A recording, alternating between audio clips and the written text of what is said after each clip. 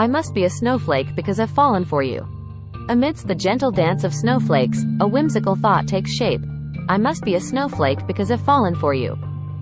This sweet sentiment captures the delicate nature of falling in love, likening the experience to the unique and intricate beauty of a snowflake. Each snowflake holds a distinct charm, just as each person has their own special qualities. Falling for someone becomes a graceful descent into admiration and affection, much like a snowflake finding its place in a winter wonderland. It's a playful way to express the enchantment that comes with discovering someone special, turning a natural phenomenon into a metaphor for the magic of connection. In this light-hearted analogy, the speaker becomes as unique and captivating as the delicate snowflakes, making the sentiment both charming and endearing. Help me spread love.